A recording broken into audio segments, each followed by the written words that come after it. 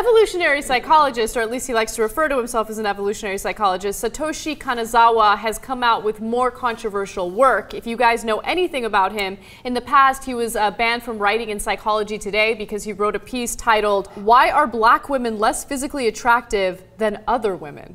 Oh, okay. So he's a classy dude. Mm-hmm. Uh, recently, he wrote a book called The Intelligence Paradox, where uh, he has a chapter dedicated to reproduction. And he talks about how some studies indicate that women are less likely to have maternal instincts the more intelligent they are. In fact, he states that uh, for every 15 IQ points a woman has, her desire to be a mother decreases by 25%. What an awesomely made up number. I know.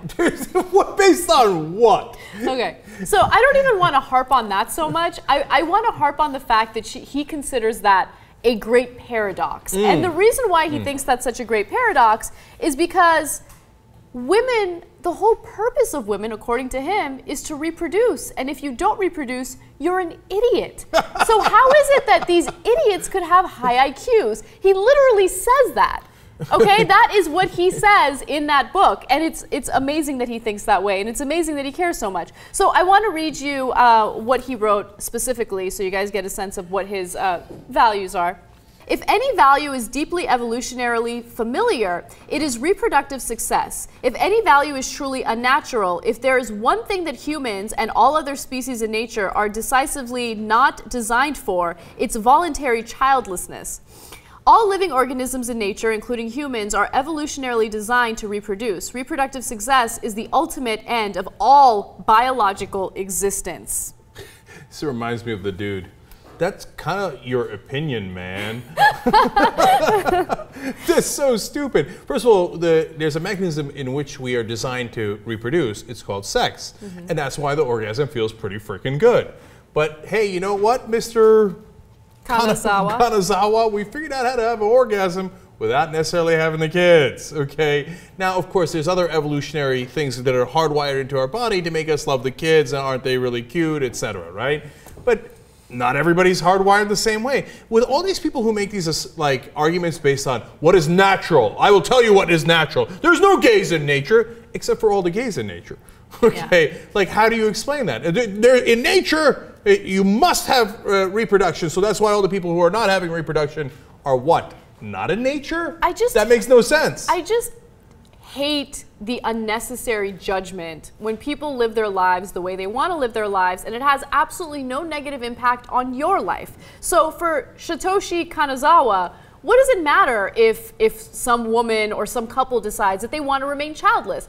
I think that it's much more selfish to force yourself to have a family when you don't want to have a family or if you don't have the means to raise that family than to just decide, you know what, having a family is not for me and I am going to uh, avoid doing it. Now, Tucker Carlson on Fox and Friends uh, said something that I thought was hilarious. I want to read you his quote. He says, Having children means less time for vacations and spin class, uh, where the real meaning in life resides, right? I mean, have you ever seen anything more selfish, decadent, and stupid?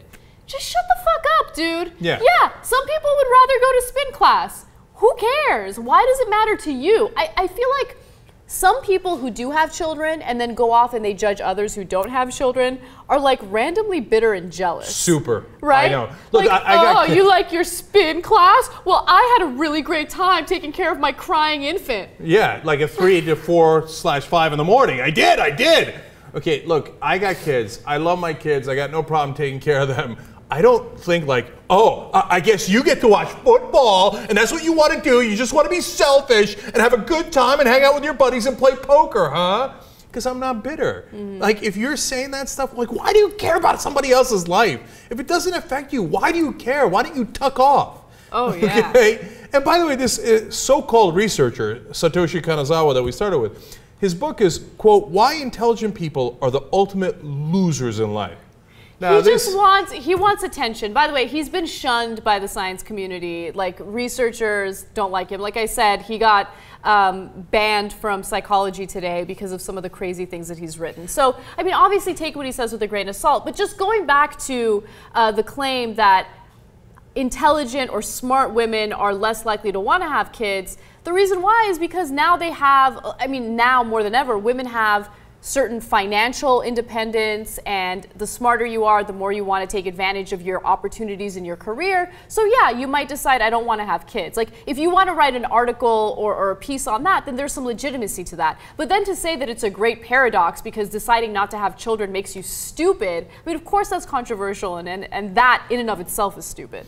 Right. So you have more options, and when you have more options, people are going to exercise different options. Definitely. It's perfectly normal and understandable. And you're right. And the great irony here is this is the dumbest guy alive because he takes whatever his perspective is and applies it to everyone else. I love kids. They drive me. I think they're awesome. Why don't you love kids? What's wrong with you? I don't like black chicks. So uh, black chicks must be ugly.